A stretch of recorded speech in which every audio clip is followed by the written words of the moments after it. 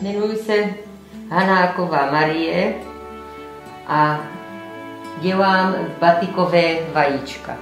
Pokládám ze Znorov.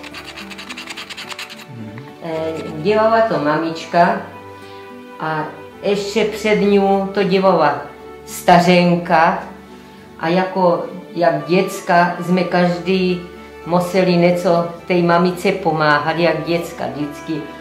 Než jsme šli někde ven, tak jsme napřed jí museli pomoct s týma vajicama a teprve jsme museli jít ven. A tak jsme, tak potom jsem to začala už dělat a já.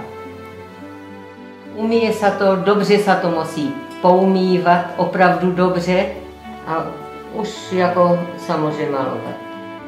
To jsou vzorky, protože to si ani člověk by nespomněl, jak to má dělat. Které vzorky ještě od mojej stařenky.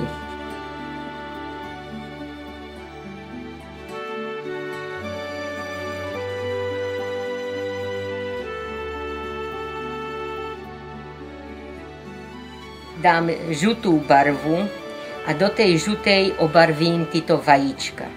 Když eh, vajíčka už máme vyžutěné, nažutěné, tak potom jich ještě musíme vyčárat.